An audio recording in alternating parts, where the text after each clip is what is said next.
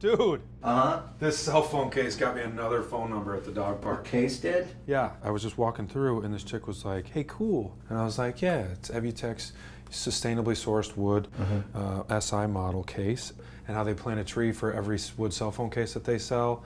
And she was into it. At any point did it come up that you don't have a dog and you're at the dog park?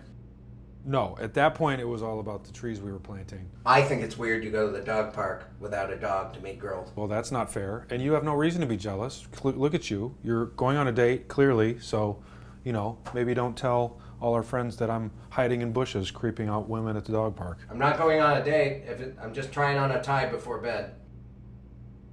Dude, that's pathetic. Evutec, evolutionary technology.